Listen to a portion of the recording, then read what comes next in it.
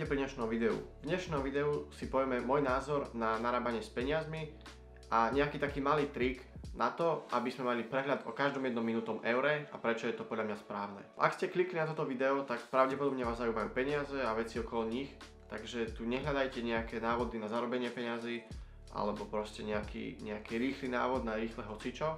Možno sa vám už stalo, rovnako ako mne, že ste sa pozreli na svoje peniaze do svojej peňaženky alebo na svoj účet a zistili ste, že z tých peniazí, s ktorými ste rátali, máte tak trošku menej.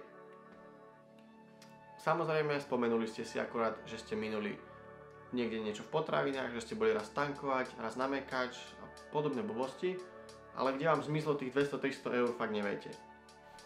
V tomto videu si povieme taký malý trik, ktorý tomuto môže predísť. Pretože toto je vec, ktorá mňa najviac vždy vytáčala, pretože keď som minul peniaze, tak som chcel ich minúť na niečo rozumné a keď už to malo byť niečo nerozumné, tak som si toho chcel byť vedomý. Chcel som vedieť, že dobre, teraz si kúpim povedzme PlayStation, hej, a budem vedieť, že proste je to, sú to peniaze na zábavu, budem s tým strácať čas a ešte k tomu stratím aj peniaze za kúpu toho. Lenže nenávidím, keď miniem na niečo, čo je aj tak blbosť a po chvíľke neviem, že som to vlastne kúpil alebo že som na to minul peniaze. Takže tomu by som sa chcel vyhnúť a chcel by som, aby si sa tomu vyhli aj vy, pretože si nemyslím, že som taký jediný degeš a robím túto istú chybu. Samozrejme, nestalo sa to raz aby som tomu predišiel, tak som sa snažil vyskúšať viacero aplikácií, programov na počítači a nejaké také tie spôsoby, ako mať prehľad o svojich peniazoch. Avšak dva spôsoby z toho sú podľa mňa stále najlepšie, najjednoduchšie a najviac efektívne, aspoň teda na začiatok. Prvým z nich je obyčajný papier a ceruska. Proste zoberte si veľkú A4, zapisujte si do toho, koľko peniazí ste prijali, koľko ste zarobili a koľko ste minuli. Hej, koľko ste zaplatili účty, koľko ste si zaplatili za jedlo, koľko ste zaplatili za nejakú zábavu, proste, čo ste minuli na blbosti. Druhý spôsob je ten podľa mňa trošku komplikovanejší, ale zároveň oveľa viac efektívny. A to je to, že si vytvoríte v Exceli obyčajný hárok a začnete si tam na jednu stranu zapisovať to, čo ste prijali, teda príjmy, to, čo ste zarobili, čo vám niekto dal, alebo čo ste našli, povedzme, ak máte to šťastie, že nachádzate peniaze. A do druhého stĺpca si napíšete vaše výdavky. Hej, čiže všetko, čo miniate, na čo miniate peniaze, či už je to na jedlo, či už to je na, na oblečenie, na cestu do školy, cestu do roboty, na nejaké opravy, ktoré potrebujete spraviť, alebo na voľný čas, na hociaké blbosti. Všetko si zapisujte do jedného alebo druhého stĺpca a na spodku na konci mesiaca si zapíšte tú celkovú sumu. Koľko vám ostalo potom, čo ste zarobili a potom, čo ste všetko vlastne zaplatili. No samozrejme to, čo vám vyjde na konci, ak vám vyjde pozitívna suma, tak ste si niečo odložili a teda ste minuli menej, ako ste zarobili. Ale keď máte smolu, tak vám vyjde, vyjde vám to, že ste vlastne v mínuse a že ste zarobili menej ako ste minuli, alebo ako ste chceli minúť, alebo proste ak sa môžete, tak sa dostanete do minusu. To samozrejme dobre není, nie je a chceli by sme, aby sme proste boli stále v pluse, hej? Aby sme na konci mesiaca mali viac, ako sme, ako sme mali na začiatku toho mesiaca. Čiže po splatení všetkých účtov, po, po kúpení nejakých dôležitých vecí a možno po kúpení nejakých blbostí, ktoré fakt sme chceli, tak aby vám stále ostali nejaké peniaze na začiatok nového mesiaca. Ako som už spomenul, vyskúšal som viacero aplikácií, no tento Excel a proste obyčajný hárok, ktorý si vytvoríte vy sami, sa mi z toho zdal taký najlepší. Za prvé je to tým, že môžete si to upraviť akokoľvek chcete, nemáte tam žiadne kolónky, ktoré sú vyrobené niekým pred vami, nie sú tam žiadne proste funkcie, ktoré tam nedáte vy a je to zároveň veľmi prehľadné, ľahko sa to upravuje, proste nemá to žiadne negatíva podľa mňa. Čím viac sa s tým budete chcieť vyhrať, tak tým lepšie to bude. Môžete si tam dať, spraviť nejaké vzory na grafy, hej, aby vám vypočítavali, koľko ste každý mesiac minuli, porovnaní s ďalšími mesiacmi alebo predchádzajúcimi. Ale podľa mňa to úplne postačuje, ak si to zapisujete, dole si spravíte jednoduchý vzorec na to, aby ste videli, koľko vám zostalo alebo koľko ste v minuse a rozpíšte si jednotlivé kategórie, napríklad jedlo, rozpíšte si náklady, povedzme, keď máte auto, tak tankovanie, opravy auta, kto platíte nejaké paušály alebo proste nejaké povinné platby mesačne, tak si zapíšte, hej, že paušál za mobil, za internet, za televíziu, bla, bla, všetko dokopy, hej. Teda všetko, nie že všetko dokopy, ale všetko si zapíšte do kategórií, aby ste to mali prehľad. Už len toto, že si budete tie všetky veci, na ktoré míňate, zapisovať, tak vám pomôže v tom, že za prvé budete mať väčší prehľad o tom, za čo míňa, na čo míňate peniaze.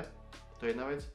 A druhá vec je, že budete mať s tým, ako budete mať väčší prehľad, tak vás to niekedy bude až trápiť. Keď sa pozrite na konci mesiaca spätne, že aha, minul som toľkoto eur na sladkosti, alebo že som minul toľkoto veci, toľkoto eur na oblečenie, ktoré až tak nenosím, alebo na hru, ktorú som si proste zahral raz za posledný mesiac a budete sa tým trošku nútiť, aby ste nad tými, nad tými kúpami alebo nad tou platbou rozmýšľali viac a nekúpili to len tak, že teraz mám peniaze, niečo si idem kúpiť, hej. Lebo určite to poznáte viacerí, nielen ja, že proste keď máte peniaze, tak vás nutí ich minúť. Takže aj tomu trošku predídete. No a ďalšia vec, ktorá je vlastne prepojená s tým všetkým je to, že aby ste vedeli mať takýto prehľad v tom Exceli alebo to je na papieri hocikde, tak si musíte odkladať všetky bločky a mať proste prehľad o tom, čo ste kedy kúpili. Hej? Ak budete chcieť, môžem na stránku hodiť môj vlastný hárok, ktorý bude samozrejme prázdny, ale budú tam zapísané všetky tie kategórie, budú tam rozpísané tie vzorce a ak sa vám budú páčiť, tak si tam môžete iba proste dopisovať svoje veci, trošku si ho prerobiť a používať podľa seba. Ja sám si robím taký nejaký mesačný súhrn, ale okrem toho si robíme taký týždenný súhrn, kedy si vlastne na konci týždňa pozriem, koľko som minul, koľko mi ešte ostáva minúť, koľko som zarobil a koľko ešte pravdepodobne zarobím. A tým pádom budete mať také 4 súhrny do mesiaca a budete sa, viac, budete sa vedieť lepšie priblížiť k tomu, k tomu vášmu cieľu. Hej. Či už to je na konci splatiť nejaký dlh, alebo odložiť nejaké peniaze, alebo si niečo kúpiť v danej sume, budete mať o tom lepší prehľad a nestane sa vám, že budete 3 dní pred koncom mesiaca a budete musieť splatiť ešte tieto 3 veci, ale už budete proste v mínuse, hej? A teraz budete hľadať, kde môžete ušetriť, kde môžete zarobiť viac peniazy a podobne. A späť k tomu odkladaniu bločkov. Ide vlastne o to, že na to, aby ste si vedeli všetko takto pekne zapísať, potrebujete vedieť, čo ste minuli, kedy a na čo. Takže nedoporučoval by som odkladať si všetky bločky, pretože po pár dňoch alebo po týždňoch budete mať doma milión bločkov, nebudete ich ani stíhať zahádzovať. Takže čo robím ja je to, že vždycky, keď vidím z obchodu, keď niečo proste zaplatím, tak si odfotím bločky do mobilu, bločky zahodím a večer, keď si to budem zapisovať do počítača, tak si proste ten bloček pozriem z mobilu, vidím tam všetky, všetky veci, ktoré sú odfotené v ten deň, spíšem si bločky, hneď potom vymažem tie fotky, hej. Keď už to mám zapísané do toho programu, tak to vyhazujem, či už bločky alebo fotky vymažem, to je jedno. No a samozrejme cieľom je, ako som už spomenul, aby ste mali výdavkov oveľa menej ako ziskov, hej, aby ste proste zarobili viac ako miniate. Keď zarábate menej, tak sa snažte miniať ešte menej. Keď zarábate viac, tak si nemyslíte, že teraz môžete miniať čo najviac, akože môžete, ale nedoporučoval by som to, teda hlavne ak pozeráte takéto videá, hej, očividne vám ide o niečo s peniazmi. Takže ak sa snažíte, alebo ak chcete narábať s peniazmi rozumne, tak čím viac zarábate, tak zabudnite na to, že budete aj viac míňať.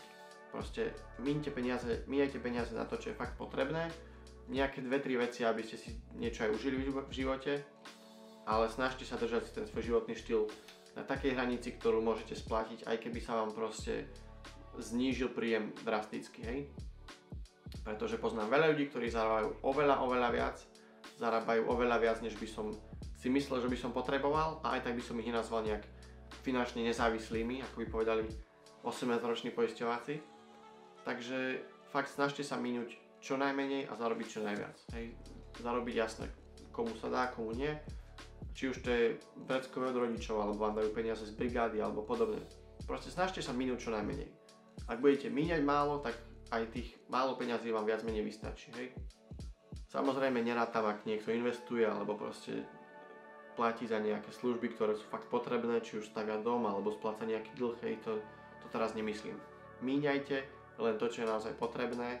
Raz za čas niečo, čo si chcete kúpiť, doprajte si niečo pekné, ale zvyšné peniaze si odkladajte.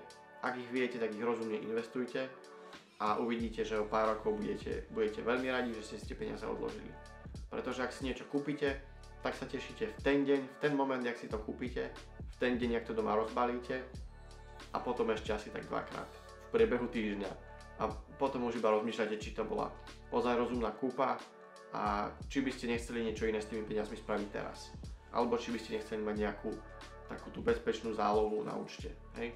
Aby ste vedeli, že ak sa niečo stane, tak mám povedzme 100-200 eur odložených. Lenže to na každom z vás, musíte porozmýšľať, ako chcete narábať s peniazmi a o čo vám ide celkovo. Rovnako, ak by ste chceli vidieť viac videí o peniazoch alebo o, nejakej, o nejakom takomto spôsobe šetrenia, investovania alebo míňania peňazí, tak mi napíšte to do komentárov. Kľudne môžem spraviť aj nejakú sériu, sériu videí o typoch alebo o nejakých tríkoch z knihy Bohatý otec, chudobný otec od Kiyosakiho, ktorú určite poznáte a už som ju spomínal v niektorom videu. Tak mi tiež napíšte do komentáru. A Rovnako, ak máte hociaký iný nápad na video, alebo nejakú tému, alebo problém, s ktorým by ste chceli poradiť, tak sa posnažím čo najlepšie. Zas, ak to nebude v mojich silách, tak vám rovno napíšem, že sorry kámo, toto nebudem točiť. A prosím, nepošli mi, nepošlite mi tam nejaký, nejaký komentár, že sprav video o dinosauroch. Akože, čo mám spraviť o dinosauroch, neviem. Ne, nezažil som dinosaurov. Takže na čo budem vedieť, spraviť video, tak na to video rád spravím. S čím budem vedieť pomôcť, s tým rád pomôžem. A zatiaľ to je všetko. Ďakujem za pozornosť a vidíme sa pri ďalšom videu, ktoré bude dúfam trošku skôr ako vyšlo toto.